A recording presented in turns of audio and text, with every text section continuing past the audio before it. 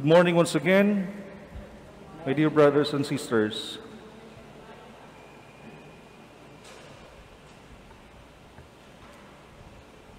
Before I start my short reflection, I would like to ask you to remember the things that you have prayed for last Christmas season and last New Year.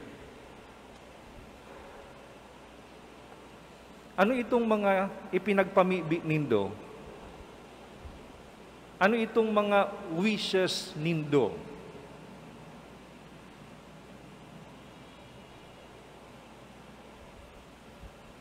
I usually receive annually a pair of shoes from my sister.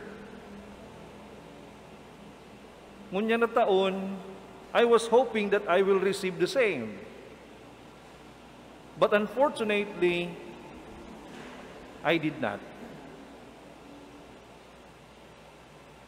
Then I realized one thing after the celebration.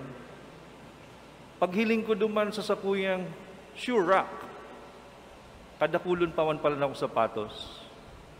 I still have few pairs of good quality and in good condition shoes for my games. Naisip ko sana, maybe she knew that it is not yet my time to have one. My dear brothers and sisters, the celebration of Christmas and New Year were done. Is your wish granted? Did you receive the gift that you prayed for? Is your problem solved? Are you healed of your sickness or ailment? Kadakulon sana. And that's the reason why I asked you a while ago to remember the things that you have prayed for and try to see if you have received the answer, if you have received the gifts that you prayed for. Many, if not all, have prayed so well last Simbang Gabi and Misa Aguinaldo. Because many of us think na sa paagikan novenary masses na Simbang Gabi or Misa Aguinaldo, our wish will come true.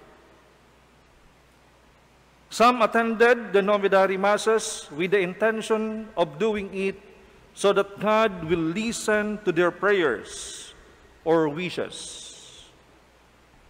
Many, or maybe some of them, have received their due, received money from their ninong or ninang, or toys, or expensive gadgets from their parents, from your company, from your school, maybe you have received your bonuses Plenty of it. Ano po, kadakol nindong na po ang bonuses. Or even, a simple desire to be with loved ones was granted. But I'm pretty much sure as well that not all of us receive what, been pray, what we have been praying for or wishing for. Arog sa kuya, day ko na-receive itong gusto ko kuta We need to realize, my dear brothers and sisters, that sometimes we need to accept the reality that some of what we wanted are not good for us this time, or not good totally for us or to others. And since we are eager to have them, sometimes we do whatever it takes just to have them, even up to the point of doing something the wrong way. Kaya ang iba, napipiritan maggibunin sala sa sa hindang kapwa because of this of their desire. And when the time comes that we have done so many things or prayed so hard to God, and yet we have not received something from God, we feel so frustrated about it. Sometimes we lose enthusiasm to continue Or worse, we even lose faith in God. We tend to forget that God's plan is better than our plans. His desire is beyond our desires, and His will is greater than what we wanted. And because of that one, we feel so frustrated because we have forgotten that reality, that God's plan is basically greater than ours. Remember the characters last Christmas season and see how they have set aside their plans and will because they have seen that God's plan is far more pleasing than their personal ambitions and wishes. Mary said yes to God to be the mother of the Son of God. Joseph received the pregnant Mary in his house. Elizabeth and Zechariah patiently waited to have a child of their own. John the Baptist received with rejoicing and gladness the presence of Mary and Jesus. We are so familiar with their stories. We have seen their role in our salvific history. My dear brothers and sisters, even the three magi humbled themselves in front of the newborn king. Basically, all of them prioritize the will and plan of God because they knew that God's plan is not for himself, but rather for the good and salvation of all. Since they understood that reality, their personal ambitions, wishes, desires were set aside. Dahil man nagkulog ang buot ninda. In today's gospel, my dear brothers and sisters, we have heard the story of Jesus encountering a leper. The leper, just like any other person who is suffering from illness, wish to be healed. Isn't it? Lalo ngunyan na panahon kan pandemic. There are so many people praying for healing. There are so many people affected by COVID-19 wish to be healed so that they will have a good life.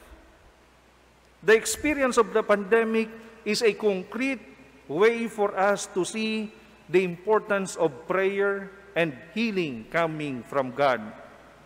But the question is, are all sick of COVID or cancer or an, any other illness were healed, even if they have prayed intently to God? Daiman, ano po, Dai man gabus na pinagpamibita na umayan. Even as our personal experience can attest that even if we have prayed so hard and for so long, sometimes we don't receive the answer to our prayers. My dear brothers and sisters, all depends on God. Gabus na bagay, nakadepende sa mahal na Diyos. He knew what is best for each and every one of us. He knew what is for the greater good. Mas anam nin mahal na Diyos kung naarin niyan dapat itao ang kasimbagan sa satuyang mga pamibi. He knew the time. The timing of God is different from ours. And therefore, we should patiently wait for God's timing because He knew what is best for us. The leper in today's gospel said something that is very important for us to reflect on. Ano ang sabi kay ng leproso? Lord, if you wish, you can make me clean. I repeat, Lord, if you wish, you can make me clean. Kung gugustuhon mo, kagurangnan, mauumayan, malilinigan ako. And Jesus said, I do will it be made clean. And the leprosy left him immediately. My dear brothers and sisters, the leper was healed not because he wished to be healed, but rather because Jesus wished him to be healed. Maski gusto kang leproso, kung habo man kan Diyos, dahil siya mararahay. But because Jesus wished and willed, he was healed. The prayer was granted. His desire was basically materialized because of the will of Jesus. This is very clear, therefore, my dear brothers and sisters, that not our will will triumph, but rather the will of God. And therefore, if we look at the will of God in that kind of perspective, we should realize that it should be the priority. The will of God should be the priority of our life. Sometimes we are just praying, Lord, give me this. Lord, I want this. Let us try to ask the Lord in our prayer, Lord, what is it that you wanted me to do? Lord, what it is that you wish for me? Rather than praying all the things that we wanted, let's try to ask the Lord, what is it that you wanted for me to do? What is it that you wish to happen in this world in our family, in our community, in our school, in our society. My dear brothers and sisters, let us take this one as a good point for reflection and ponder upon. Let us ask the Lord to do the things that He wished for us. Then, make His wish the priority of our lives. Because God knew what is best. His will is greater than ours. His love is transcending. His presence will endure. We prioritize the will of God, and everything will be fine. Amen.